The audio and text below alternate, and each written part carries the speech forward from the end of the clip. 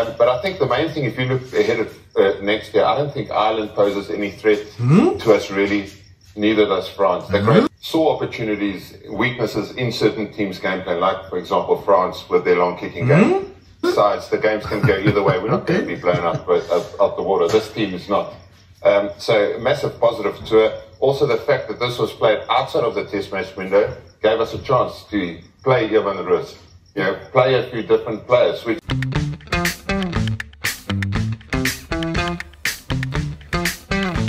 The Springbok team that faced England tonight stand a very good chance of defending the Rugby World Cup crown in France next year. So the Springbok team that we saw against Ireland, that was the vanilla default Springbok team. The Springbok team that we saw against France was a very attack-minded Springbok team, a very interesting Springbok team, a very different Springbok team. And the Springbok team that we saw tonight against England was a combination of the Springbok teams we saw playing against Ireland and against France. And the Springbok team that we saw against England, that is the Springbok team that's going to rock up at the Rugby World Cup in France in 2023. My take from tonight's game was the overall play from Damian Willemse. So there was two occasions where Damian Willemse received the ball in the Springbok half and instead of kicking the ball back, he chose to look up and to see gaps. And he chose to run the ball against England. And Damian Willemse, by doing that, he released one of the most exciting players currently in world rugby in the form of Kurt-Lee Arendse. We saw Kurt-Lee Arendse scoring a beautiful try due to what Damian Willemse did and we also saw Damian Willemse doing the same thing when the Springboks almost scored a try in the same vein. What Damian Willemse also contributed to this victory was his beautifully taken drop goals that kept the Springboks scoreboard ticking.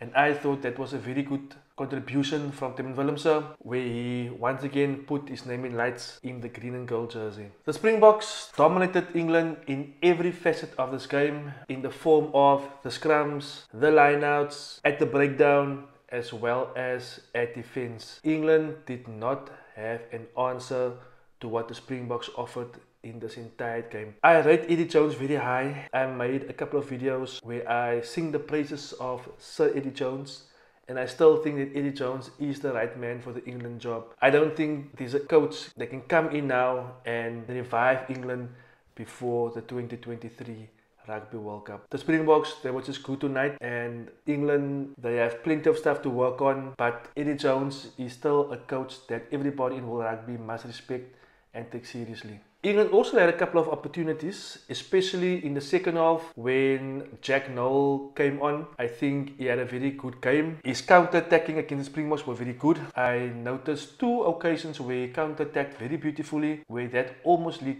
led to opportunities for England to score tries against the Springboks. So the stats in this game is quite interesting. By watching this game, I felt that the Springboks had more runs. I felt that the Springboks kicked less out of hand.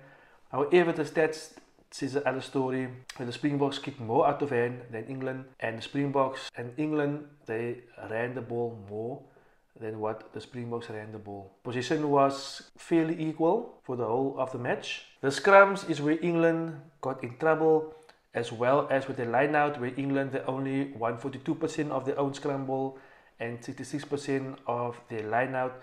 The Springboks were quite solid at scrum time and at line out time. Both teams gave away quite a few penalties. Normally, at international level, teams look to concede 10 or less penalties, where England conceded 13 penalties and the Springboks conceded 12 penalties. So, the hero of this match for me is none other than Kurt-Lee Arendse. Kurt-Lee Arendse is an up and coming superstar, not only in South African rugby, but I believe in world rugby. So, Kurt-Lee Arendse is my hero of the match. The villain of the match, to me, was Johnny Hill. The guy gave away three or four silly penalties. One of the penalties he gave away was when the ref gave England a free kick.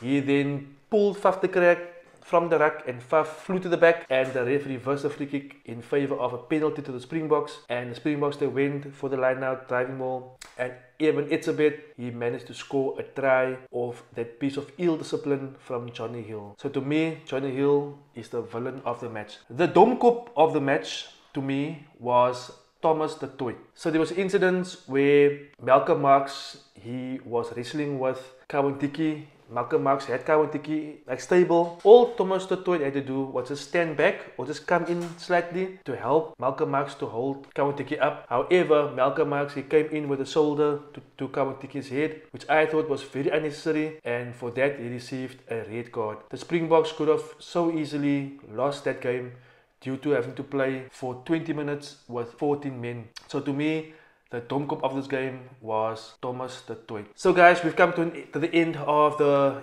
Autumn Internationals. It's quite clear which teams are favourites to win the World Cup next year. And those teams are Ireland, France, South Africa and New Zealand. Those are the four teams that stand a very good chance to win the World Cup. However, it's quite sad is that two of those teams will not make it past the quarterfinals. But I still predict that one of those four teams will win this Rugby World Cup. So guys, did you guys enjoy the game? What did you feel about the game? Was England decent? Were they poor? Was the Springboks good? What What is the Springboks chances of winning the World Cup? I'd like to hear from you guys. I want to thank you guys for watching this video. For those who haven't subscribed to my channel, subscribe to my channel, like this video, and I'll catch you guys on my next video.